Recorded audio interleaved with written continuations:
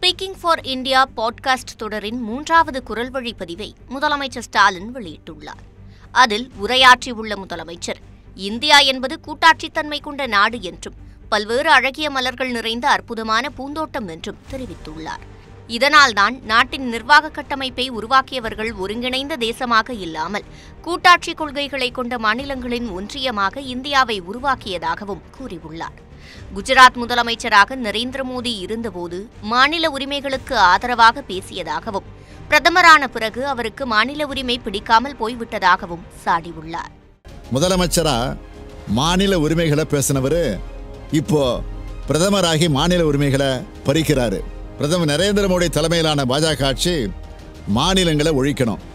அப்படி இல்லைன்னா முனிசிபாலிட்டிகளாக மாற்றிடணும்னு நினைக்குது. மாநிலங்களின் கருத்தை கேட்க மறுப்பதாகவும் அரசியல் சட்டம் வழங்கிய அதிகாரத்திற்குள் மாநிலங்களை செயல்பட விடுவதில்லை என்றும் மத்திய அரசு மீது பகிரங்கமாக குற்றஞ்சாட்டியுள்ளார் ஆளுநர் மாளிகைகளை வச்சு மாநில நிர்வாகத்தை முடக்கிறத ஒரு ஆக்ஷன் பிளானாவே வச்சிருக்கு பாஜக. அதனால தான் ஒட்டுமொத்த தமிழ்நாட்டு மக்களோட பிரதிநிதிகள் சட்டமன்றத்தை நிறைவேற்றி அனுப்பின பத்தொன்பது சட்ட மசோதாக்களுக்கு ஒப்புதல் தராமல் இருக்க பாஜக ஆளுநரை பயன்படுத்துது. ஜிஎஸ்டியால் மாநிலங்களின் நிதி நிலைமை ஐசியூவில் இருப்பதாகவும் முதலமைச்சர் கவலை தெரிவித்துள்ளார். பனிரெண்டாவது நிதி கமிஷன்லேருந்து நிதி ஒதுக்கீடு குறைஞ்சிட்டதுனால கடந்த பத்தொன்பது ஆண்டுகளில் நம்ம தமிழ்நாட்டுக்கு சுமார் எண்பத்தையாயிரம் கோடி ரூபாய் இழப்பு ஏற்பட்டிருக்கு. அது மட்டும் இல்லை இனிமே ஒவ்வொரு ஆண்டும் பத்தாயிரம் கோடி ரூபாய்க்கு மேலே தமிழ்நாட்டுக்கு இழப்பு ஏற்பட போகுது.